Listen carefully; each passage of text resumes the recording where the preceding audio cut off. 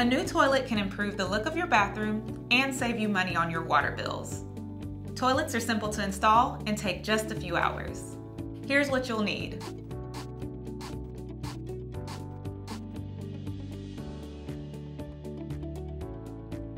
The toilet flange is the connection between the floor and the toilet.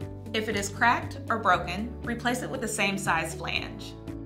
The next step is to install the seal. Rest the new toilet bowl on its side on a padded surface to protect the floor and the toilet. Then attach the seal to the bottom of the bowl. Now you are ready to place the toilet onto the flange.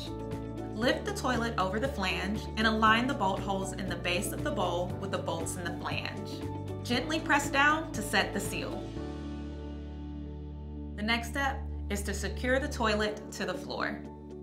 Place a washer and a nut on each toilet bowl bolt and alternate from one side of the toilet to the other as you tighten the nuts a little at a time. Be careful, do not over tighten. Finally, cover them with the caps. Now you will need to attach the tank to the bowl.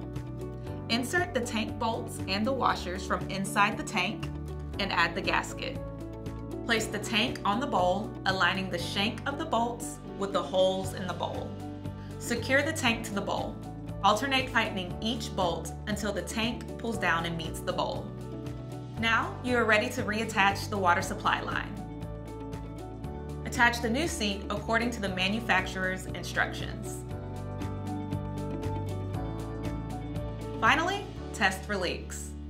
Slowly turn on the water supply valve and allow the tank to fill.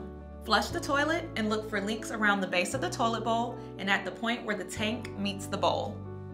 Installing a new toilet is an easy way to quickly refresh your space.